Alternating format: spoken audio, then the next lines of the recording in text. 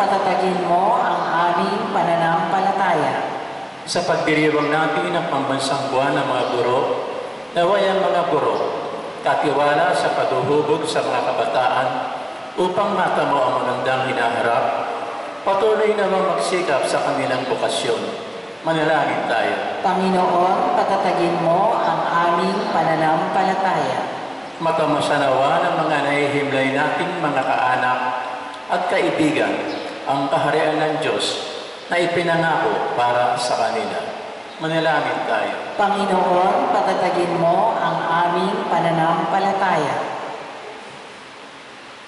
Ama na, dinggin mo ang aming mga kaibigan, palaguin mo ang aming pananampalataya habang patuloy kaming naglalakbay patungo sa iyong kaharian. Hiniling namin ito sa ngalan ni Kristo, aming Panginoon. Amen. Magsuko ang lahat.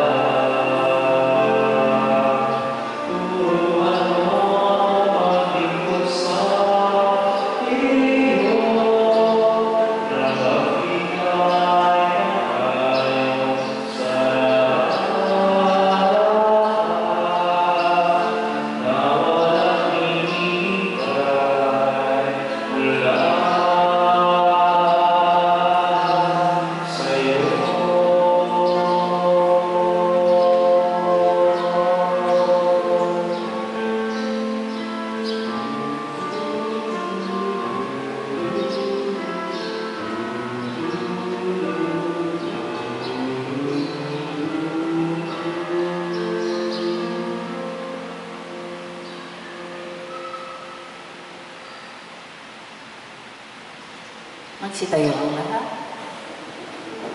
Manalangin kayo mga kapatid upang ang paghahain natin ay kalugdan ng Diyos amang makapangyarihan. Tanggapin nawa ng Panginoon itong paghahain sa iyong mga kamay sa kapurihan niya at karangalan, sa ating kapakinabangan at sa buong sambayanan niyang banal.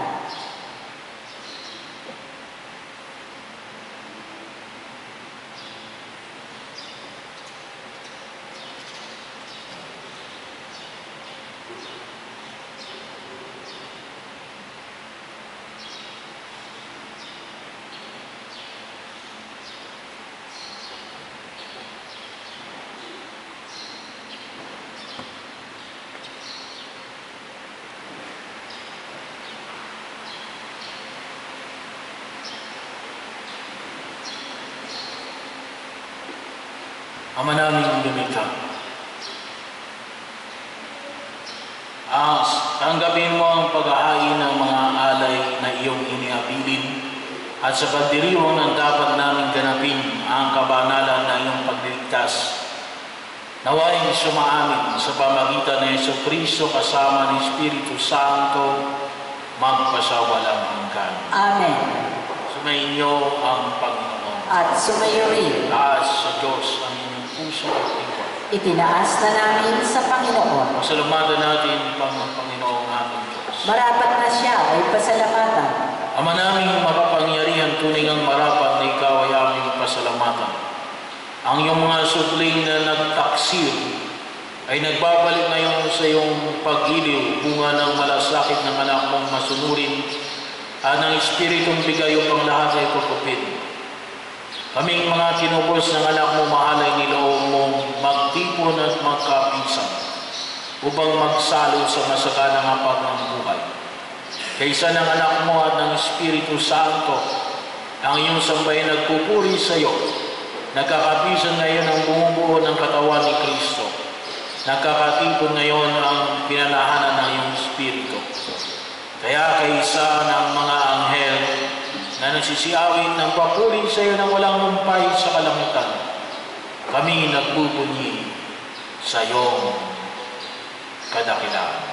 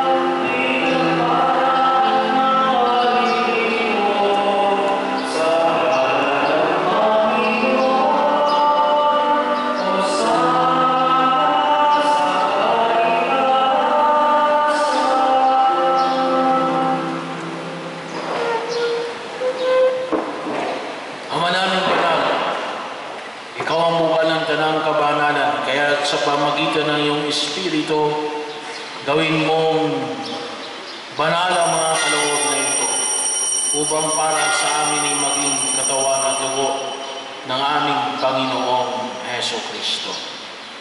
Bago niya pinagtiisang kusang loob na maging handog, hinawakan niya ang tinapay, pinasalamatan kanya.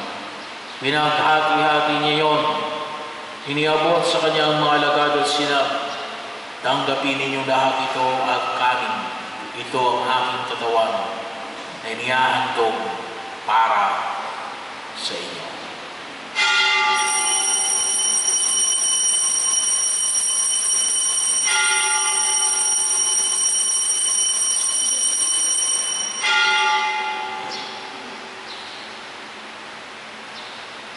Hindi naman na matapos sa mapunan, inawakan niya ang kalis. Muli kanyang pinasalamatan. Iniabot niya ang kalis sa kanyang mga alagad at sinabi, Tanggapin ninyong lahat ito at inumin ito ang kalis ng aking dugo ng bago at walang gantipan. Ang aking dugo na ibubuhos para sa inyo at para sa lahat sa kapagpapatawad ng mga kasalanan. Gawin ninyo ito sa pag-ala-ala sa akin.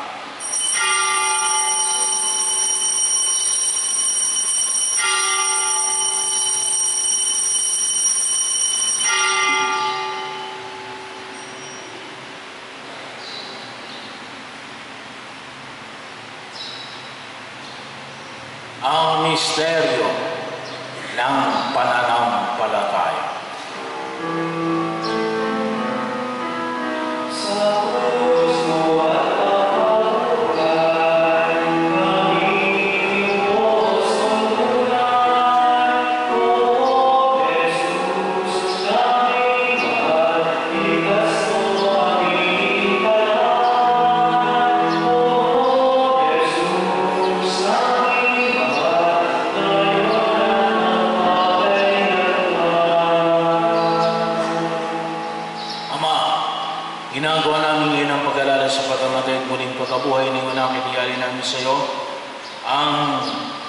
tinapay na nagbibigay buhay at ang kalis na nagkakaloob ng kaligtasan. Kami nagpapasalamat at kami ng tumayo sa harap mo para maglingkod sa iyo. Isinasamo namin kami magsasalo-salo sa katawan at dugo ni Kristo ay mabuklod sa pagkakaisa sa pamagitan ng Espiritu Santo. Ama, lingapin mo yung simbahang laganap sa buong daigdig, puspusin mo kami sa pag-ibig kaysa ni Francis, ni Benaventura, at ang tanang kaparihan. Alalahanin mo rin ang mga kapatid naming nahimlay na may pag-asang sila'y muling mabubuhay, kayong di na lahat ng mga pumanaw. Kawaan mo sila at patuloyin sa iyong kaliwanagan, kawaan pagindapating kami lahat na makasalo sa iyong buhay na unang wakas kaysa ng mahal na Bereng Maria, Nina ng Diyos, kaysa ng mga apostol at na lahat ng mga banana na namuhay dito sa daigdig ng kalugod-lugod sa iyo. Maipagdiwang nawa namin ang pagpupuri sa kararangal mo sa mamagitan ng iyong anak na aming Panginoong Yeso Kristo. Sa pamamagitan ni Kristo kasama niya sa Kanya, ang lahat ng parangal papuri sa iyo, Diyos amang makapangyarihan, kasama ng Espiritu Santo, magpasawalang hanggan. Tulad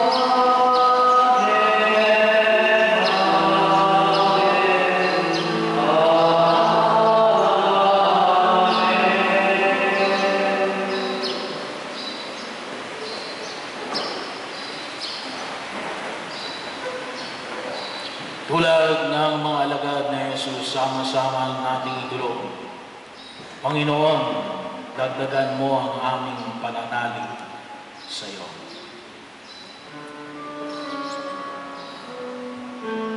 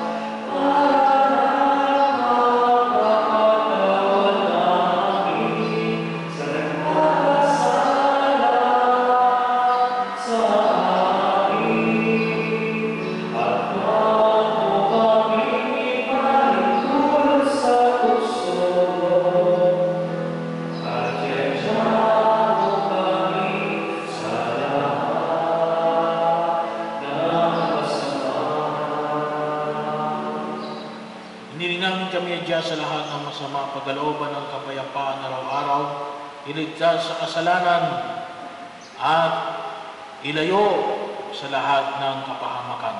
Samantalang aming pinanabigan dakilang araw ng pagpapahayag ng tagapagligtas namin si Yeso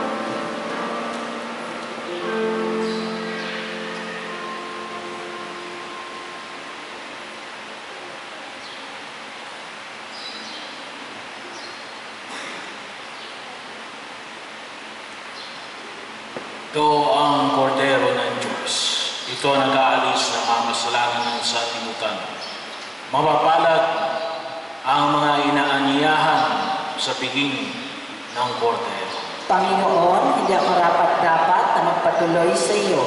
Ngunit sa isang salita mo lamang ay gagaling na ako.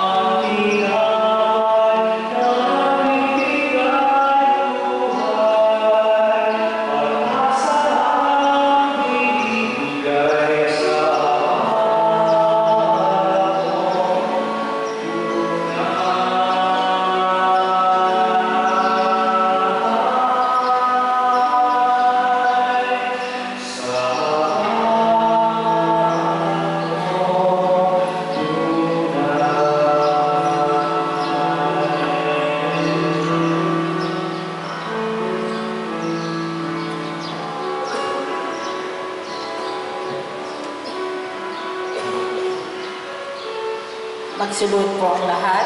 Panalangin para sa pagdiriwang ng ginintuang jubileo ng Diocese ng San Pablo. Sa bawat panalangin, ating itutugon, luwalhati at papuri sa iyo magpakailanman. Amang nasa langit, sa iyong awa, natitipon kami bilang isang sambayanang nakahandang tumalima sa iyong panawagan. Nagpapasalamat kami sa lahat ng naganap sa lumipas na limampung taon, sa lahat ng mga biyayang aming nararanasan sa ngayon, at sa lahat ng iyong mga pangako sa hinaharap. Tugon, Panginoong Yesus, luningning ng kalwalatian ng Ama, dakilang pari ng bago at walang hanggang tipan, ikaw na nagbibigay lakas sa aming obispo, mga pari at religyoso, upang maging tanda ng iyong presensya sa mundo.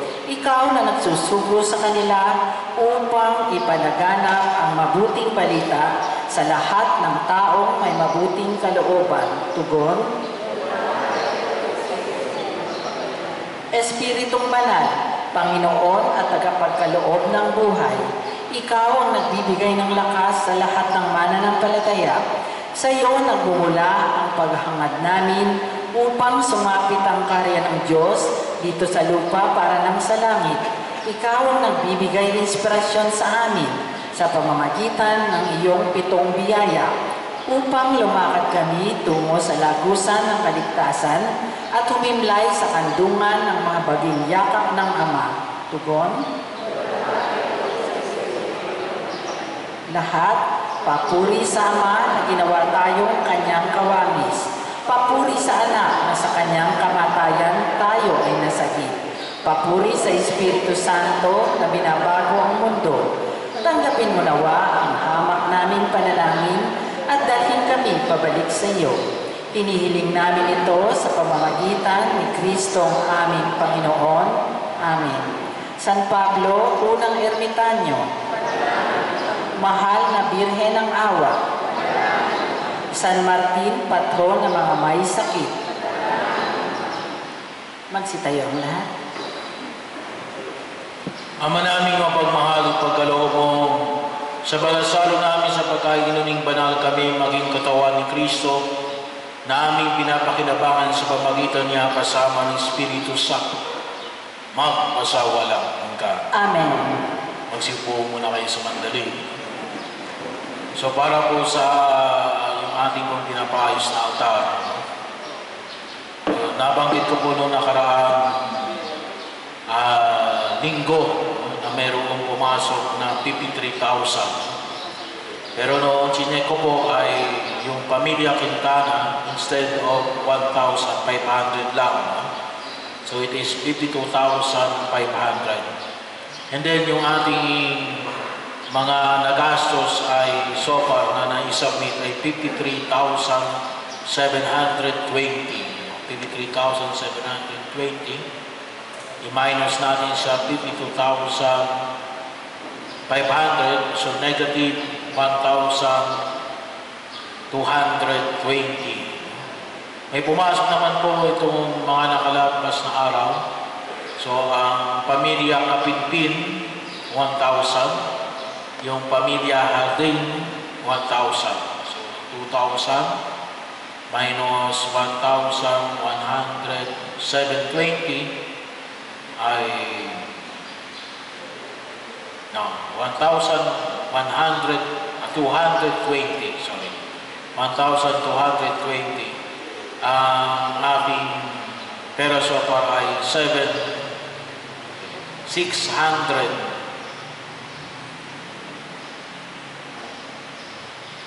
720 780 sorry, sorry 780 pesos so yun po yung ating existing na fund yung po hindi po tayo nakapag pintura sapagkat uh, palaging nag-uulan. No? Hindi rin hintay pa po natin yung ating pina-gold silver dip.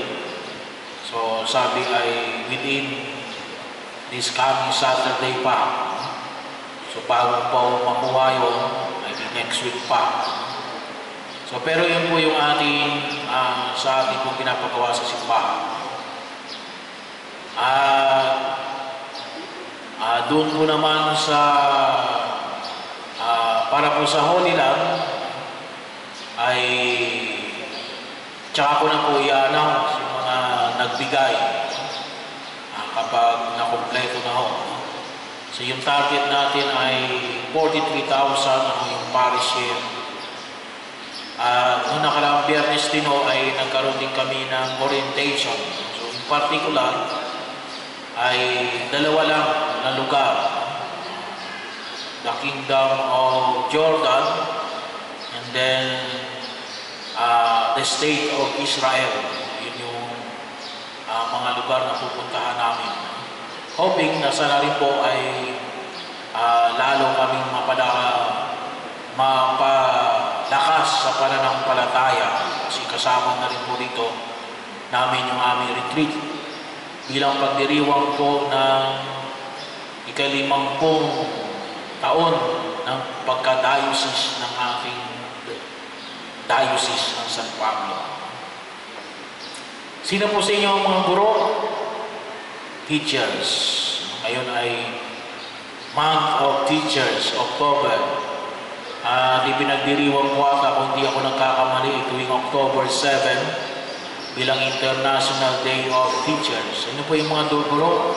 Pwede yung lumapit dito yung mga guro at ating babasbasan mga teachers, professor, wala.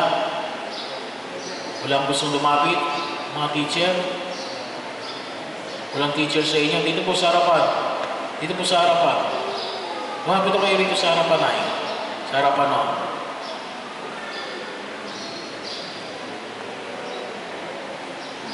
Mga teacher. Mag-iisa lamang ang ating teacher.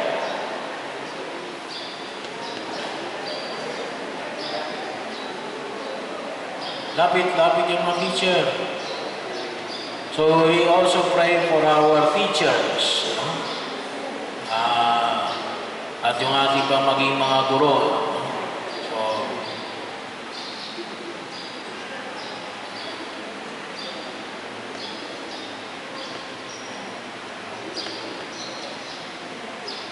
idulog natin sila sa harapan ng Pome Kapal. Tagapagkaloob ng lahat ng kaalaman at guro ng mga guro, bigyan po ninyo ng pagkalinga ang ating mga guro.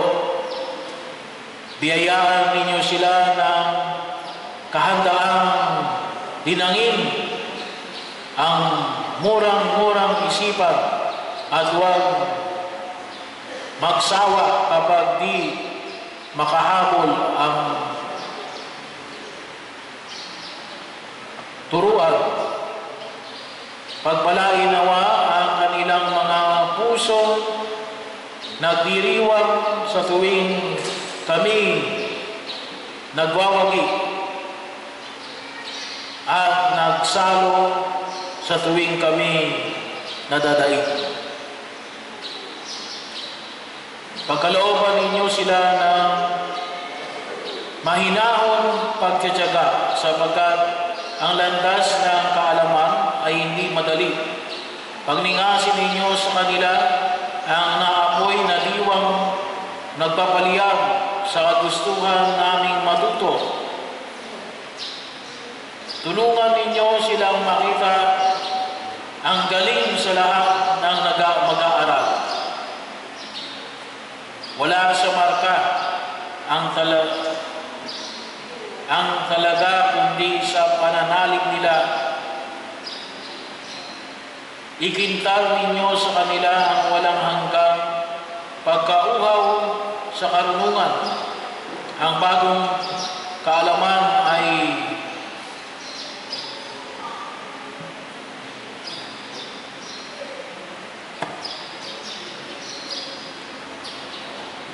kaparisan ng di sapat na katakutan. Turuan po ninyo silang masiglang abutin ang alapaap, kasing sigla at kasing tayog ng sarili naming pangarap. Pagpalain po ninyo ang mga gurong nauna sa amin, ang nagawa nila at naipa pinabang na, na pa rin. Tanglawan po ang ng inyong mabuting halimbawa ang paguruan upang maipagkayo sila sa pamagitan ng kanilang pangungusap upang makapag mahal sila sa pamagitan ng kanilang sipag upang makapag makapagbahagi sila sa pamagitan ng kanilang puso. Sa ngalan ng Ama, ng Anak, ng Espiritu Santo. Amen. Amen.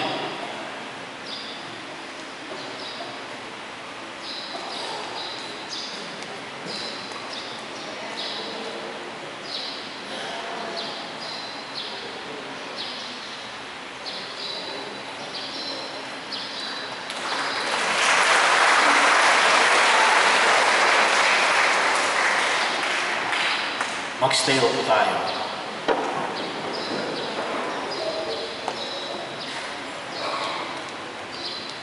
Sumainyo ang Panginoon. At sumayo rin.